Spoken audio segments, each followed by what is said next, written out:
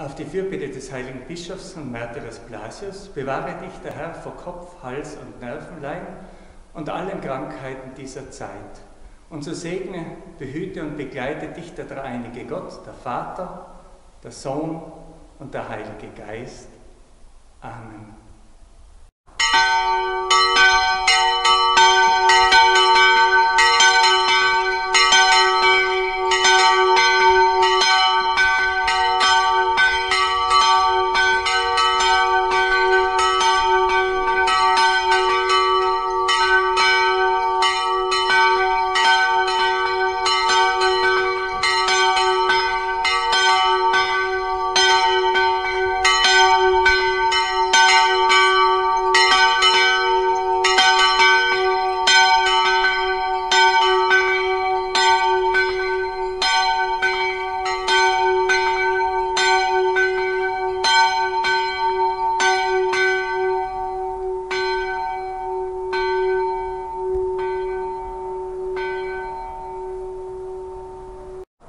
Liebe Völserinnen und Völser, heuer ist alles anders, Corona bedingt.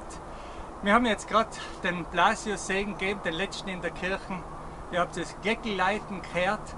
Ja, und jetzt fängt der Fasching an. Der Jockel wird ausgraben.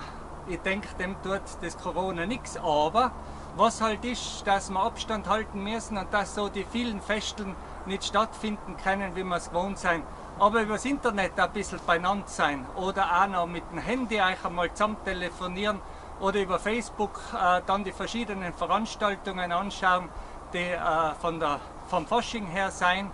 Natürlich lade ich euch auch ein, in der Kirche mit dabei zu sein. Wir übertragen ja die Gottesdienste auch jeden Sonntag um 10 Uhr.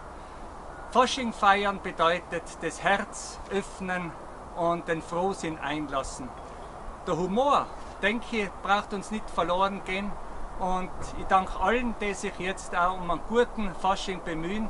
Und bitte bleibt daheim und haltet Abstand. Und wenn wir noch nächstes Jahr wieder miteinander am Dorfplatz feiern können, da die mich sakrisch freuen. Eine gute Zeit. Vielen Dank.